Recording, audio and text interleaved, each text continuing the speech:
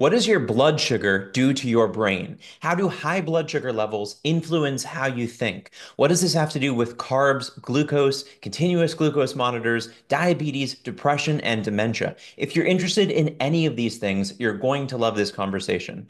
I'm Dr. Austin Perlmutter. I'm a board certified internal medicine physician, and I'm focused on giving you practical tools and information to improve your brain health. If you're interested in how to improve your brain today and protect your brain health tomorrow, please subscribe. And if you want more of this specific type of content, stay tuned. I'll be doing a deep and comprehensive dive into this topic in future episodes. Disclaimer this is for information purposes only, this is not health advice.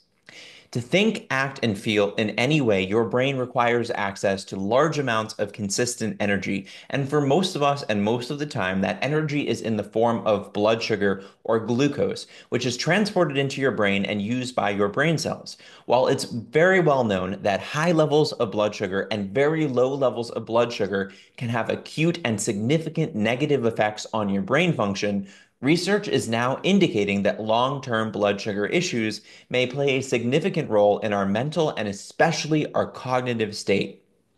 In this conversation, we're going to be exploring how blood sugar, again, glucose, influences brain health and practical strategies that speak to this science. Now, your brain is only a few pounds in weight, but it uses 20 to 25% of your body's blood sugar. That's actually double what is used by a chimpanzee. Interesting little fact. The brain can also use other forms of fuel, and you may have heard of some of this. The most popular alternate source of fuel that people are talking about is ketone bodies. But interestingly, the brain can also run on lactate, and lactate has historically been seen as a byproduct of exercise and is elevated in certain disease states. But we're now understanding that the brain can use lactate as a fuel. For most people, however, ketones and lactate do not make up a significant contribution at rest in terms of total brain energy relative to the contribution from blood sugar. Again, circulating glucose in our bloodstream. Our blood sugar levels go up and down during the day, and blood sugar typically goes up after a meal, and then it goes to a relatively lower level after longer periods when we don't eat. Blood sugar levels are more typically in the United States measured in milligrams per deciliter of blood, and blood sugar levels, when measured in a clinical setting, tend to be after fasting. A usual range for a, flat, a fasting blood sugar is between 70 to 100 milligrams per deciliter. When blood sugar levels are very high, for example, over 300 milligrams per deciliter, or very low, for example, less than 55 milligrams per deciliter, there are much higher chances for having acute alterations in mental status and brain state. And in the very extreme cases, people can even go into a comatose state because of these alterations in blood sugar. A rapid development of a very high or a very low blood sugar and the resultant changes in our brain state are far more likely to occur in people with diabetes, although there are other causes of very high and very low blood sugar. But we're also learning that long term, more subtle changes in our blood sugar can have a significant effect on our brain health and on our brain state. For example, simply having type 2 diabetes, which currently is uh, affecting 1 in 10 Americans, can translate into an over 50% increased risk for developing Alzheimer's disease and a doubling of the risk of being diagnosed with a mental health condition. I'll say that again. Having type 2 diabetes, which influences and affects about 1 in 10 Americans, may translate into a 50% increased risk for Alzheimer's and a doubling of risk for having a mental health condition. But to add to that conversation, we now understand that prediabetes, which influences and impacts about 40% of Americans and 50% of Americans after age 65 can also significantly increase our chances of getting any type of dementia. And in an interesting recent 2024 meta analysis, having prediabetes was linked to an increased risk for depression, especially in younger people. Very important point here is that over 80% of people with prediabetes don't know they have pre-diabetes. So what we're talking about here are millions of people in the United States who are basically having negative potential brain effects from a condition that they don't know about. So, how do blood sugar levels actually influence brain health? There are a number of pathways that link alterations in our blood sugar levels, again, our circulating glucose, to brain health issues.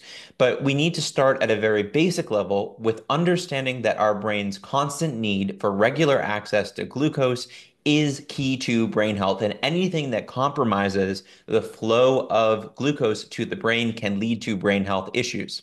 So, hypoglycemia, which is a very low blood sugar level, can lead to a lack of energy to power our neurons. In animal data, hypoglycemia is shown to impair neurotransmitter signaling. And we also know that there are pathways, including the generation of oxidative stress and damage to mitochondria, that may be a consequence of having low blood sugar. On the opposite end of the spectrum, high blood sugar, also called hyperglycemia, is linked to brain dysfunction through a number of pathways. For example, elevated glucose levels may actually cause toxicity. We also know that issues with insulin signaling, which tends to accompany the state of diabetes, could be damaging to the brain. High blood sugar levels may also lead to brain cell growth suppression and even death of brain cells in the hippocampus. The hippocampus here very important because it is key to long-term memory. Other pathways associated with high blood sugar include elevations in inflammation, damage to our vascular system, impairments in or damage to the blood-brain barrier, damage to or issues with our mitochondria, increased oxidative stress, as well as issues with synapses, which are the spaces, the connections between our neurons. In addition to these direct effects of either high or low blood sugar on brain, we also know that too much variability in blood sugar may act on many of these same pathways, including increasing inflammation and elevating oxidative stress. This means that as we look at the risk posed by changes in our blood sugar levels, it may not all be about having too high of a blood sugar or too low of a blood sugar, but even how quickly our blood sugar levels go up and down. So, how do these pathways that are influenced by blood sugar influence our cognitive state and our mental health? Of the many mechanisms tethering blood sugar issues to brain cells, almost all are believed to contribute to brain health issues like rapid brain aging, dementia, and depression, as well as even conditions like impulsive behavior and violent behavior. That is very interesting because what we're saying here is that all the pathways that could be acted on by alterations in blood sugar at unhealthy levels or more rapid variability than what is healthy could actually translate into a host of different brain states.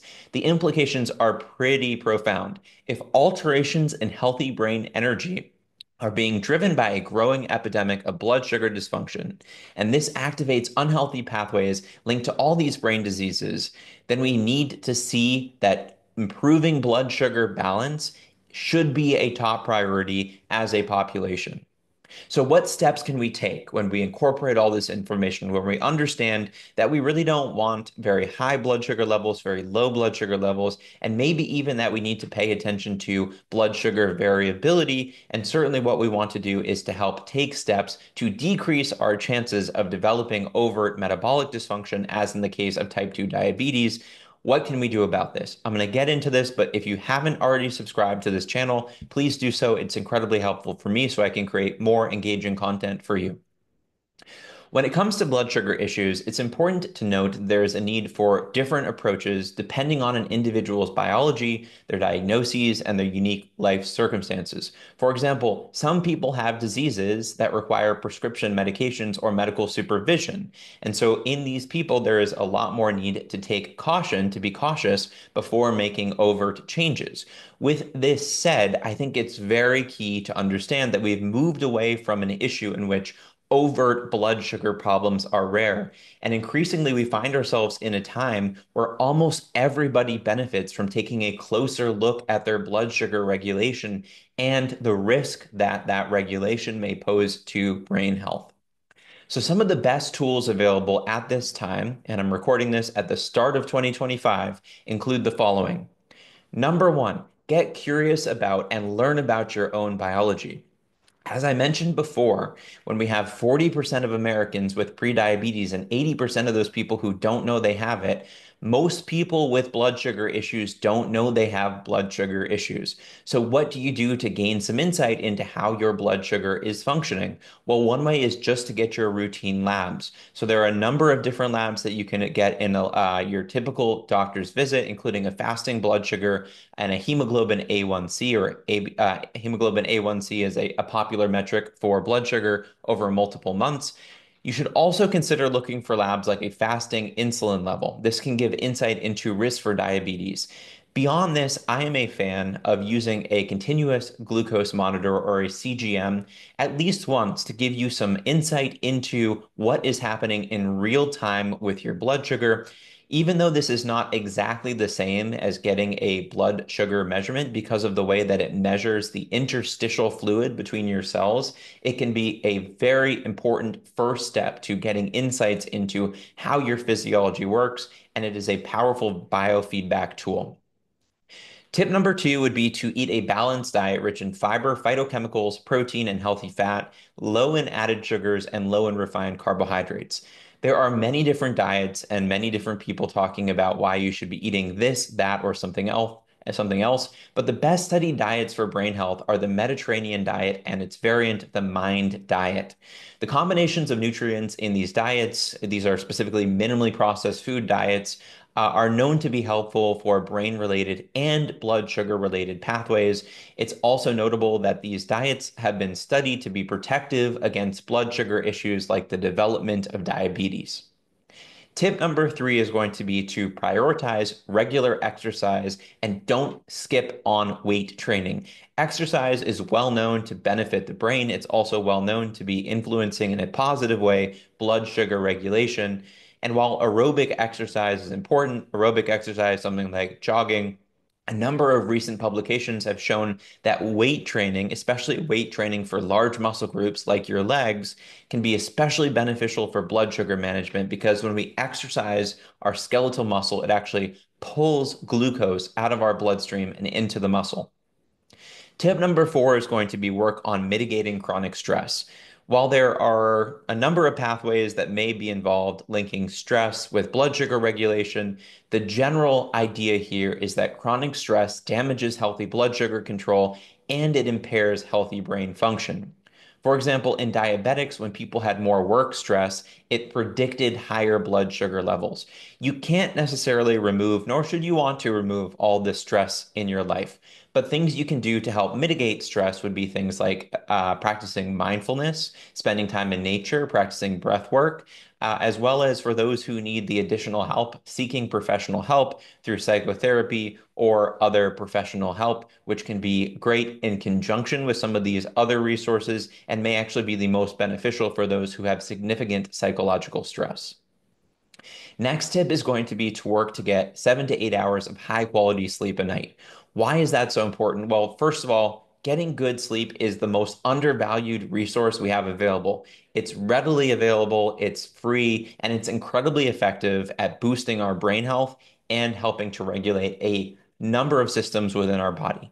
Research suggests that getting too many or too few hours of sleep a night puts people at a higher risk for developing type 2 diabetes, and alterations in sleep patterns are linked to higher risk for dementia.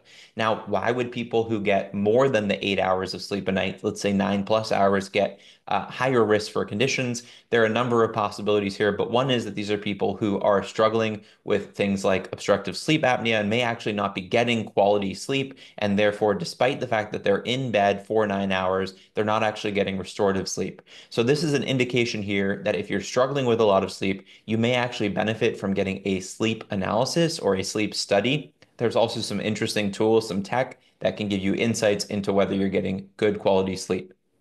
So, with all of this said, what we've covered here are some of the major pathways linking alterations in blood sugar, again, circulating glucose with brain health states. And I think what we've done is highlighted why it is so important to care about blood sugar regulation if you care about brain health. And we've talked about some of the practical tools and tips that have been studied to be beneficial in regulating pathways connecting blood sugar levels with brain state. If you're interested in this content, again, please subscribe. It's incredibly helpful to this channel. And otherwise, I will look forward to speaking with you again soon. Thanks for listening, watching, and caring about your brain. I'm Dr. Austin Perlmutter, and I'll see you later.